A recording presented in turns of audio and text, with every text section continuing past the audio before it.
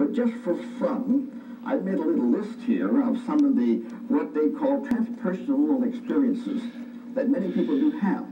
So I'm going to just read off of, on this little list here. And if anybody has had any of these experiences, just raise your hand up in the air. We get a little idea that these things are not so foreign to us, but are really quite uh, possible. Here is the first question. How many in the audience have ever had an out-of-body experience? Look at the hands. Lots of people have. And it's very real. It is an actually leaving of the body.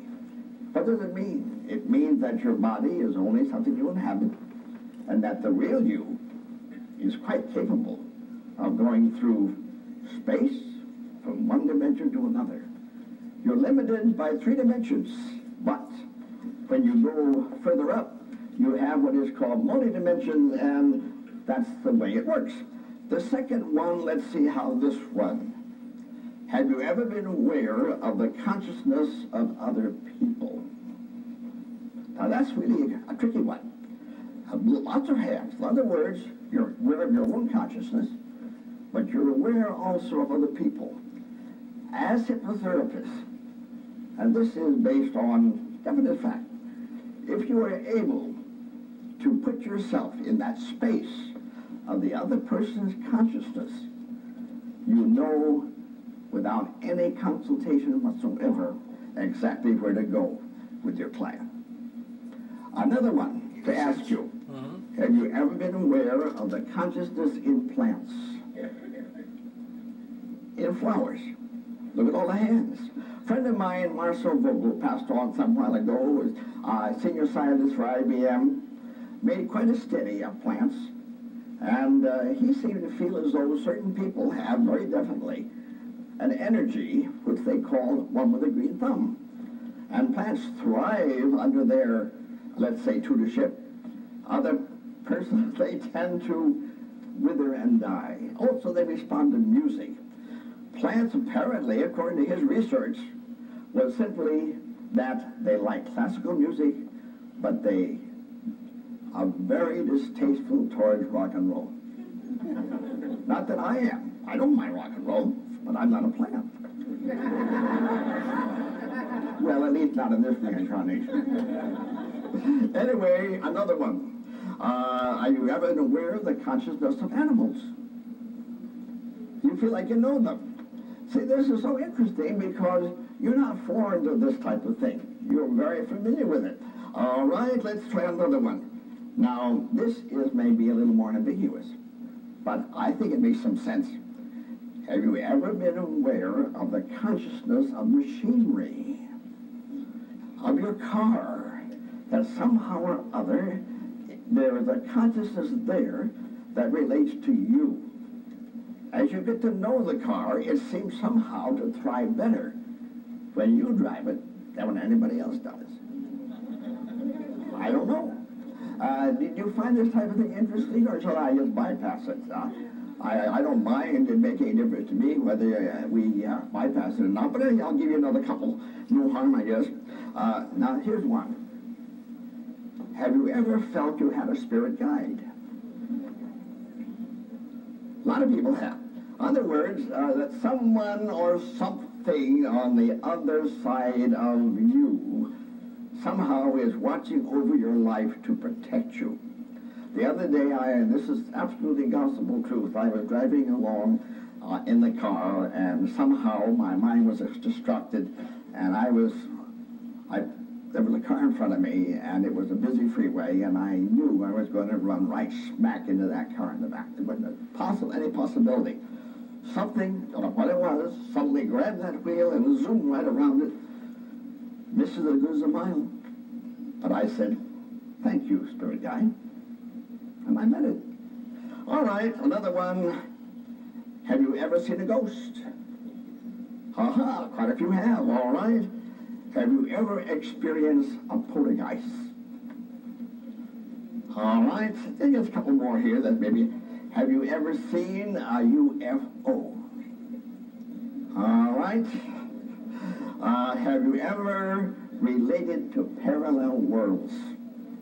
that you somehow, I don't know if this ever happened to you, but it has to me. And I, it's a strange thing. I found myself walking one time down a hallway, and there were throngs coming by right towards me. And I was walking through them just like they were phantoms. But they were just as tangible to my consciousness as any actual group of people. You know what I'm talking about, Shelley? All right. And a couple more here and we'll be done. We are going to now show you a little experiment that I think you may find one you can do for yourself. Uh, I'm going to take five objects and put them on this table. Here's a glass of water, and here's a crystal ball, and here is a, a, a brass bowl. And let's get another object. Here's a clock. That's all right. And maybe we can use, uh, no, that's a little big, I think, for our purpose. Suppose we use this silver bowl. Is Place it being over there. recorded? Now, Perfect. I'm going to be the one who acts as the medium in this experiment. And here's what the experiment is. a pretty good I'm going to have a total stranger come up on the stage and uh, make a choice of one of these objects. I want you all to know what it is. Suppose it was this one in the middle. It would be held up and you'd all see it. Then it'd be placed down, and I'm going to ask the person to rearrange the objects on the table in any, any formation they want. Then I have to come back and I have to endeavor to get an impression as to which the object was in the case, as it may be. Uh, so that we know there's no, uh, let's say, deception about this because this is done by uh, what is called ideomotor response, of picking up an impulse. Uh, I would like to have someone who who, uh, who, someone I know possibly, or some stranger making any difference. I just want them to place their hands over my eyes and over my ears, so uh, while this is being done. First of all, who would like to be the scientist in this experiment? Uh, you, sir, you're right in the front row here. Would you be my, my, my guest? Uh, we haven't arranged this at all. This is purely off the cuff, as it were, if you will. Please just come right up here. All right, fine. And I will go over this side over here, and uh, would uh, some... Uh, I- It'd be much more fun to do this with a lady instead of a gentleman. Uh, uh, how about you? You be the lady in this in this case. All you have to do is put your hand over my eyes, over my ears, so that you know that there's no there's no uh, deception whatsoever in this experiment. All right. Uh, by the way, um, what what is your name, please? Corey. Are you having a good time? All right, fine. Now, uh, now I'll explain again what we're going to do. Five objects. We put this away. Five objects. I want you to select any one, hold it up, let the audience see it, what it is, and then we. Foreman, I'm gonna check your tracking. I hear a little noise. What?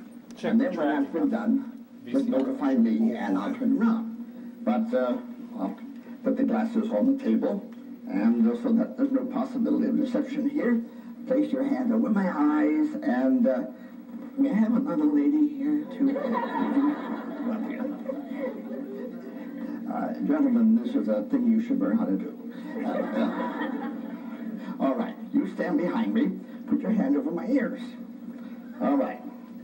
Now we've cut off, we've cut off the auditory sensibility, and uh, now we're going to cut off the uh, the visual credibility. All right, sir, you go ahead now and arrange them in any order that you want, and that'll be fine. And when you're when you're through, you just let let me know, and I will turn around.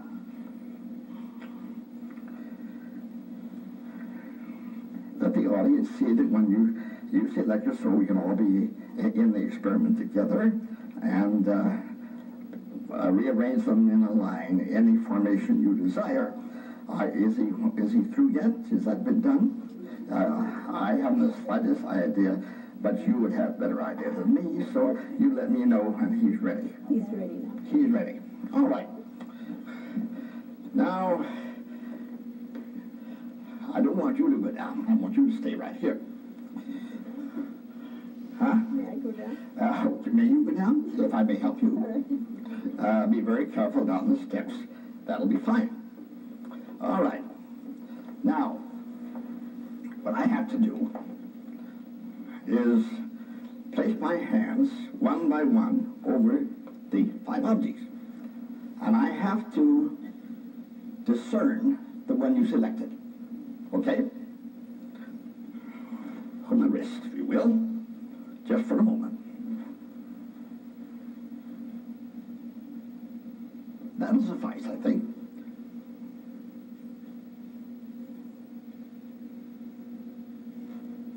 Again, please. That's all right. This one. Is that right? Thank you, sir. Very, very much. That's mighty kind of you. Uh, I'm. Uh